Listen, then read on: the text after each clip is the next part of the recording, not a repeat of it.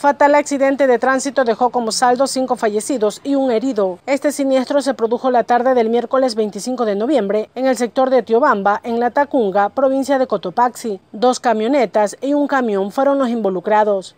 Cinco personas fallecen de, un mismo vehículo.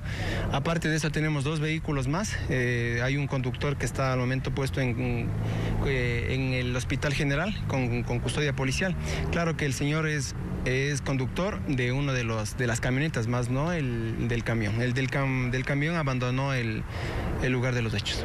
El camión tipo plataforma transportaba madera. Presuntamente perdió los frenos en el descenso de la Panamericana o 325 sentido Quito-Ambato. El pesado automotor se subió sobre una camioneta doble cabina que estaba ocupada por cinco ocupantes e impactó al otro vehículo. Los carros detuvieron su marcha porque el semáforo de Salache se encontraba en color rojo. Al momento de, nuestra llegada ya observamos el camión que ustedes pueden observar encima de la camioneta.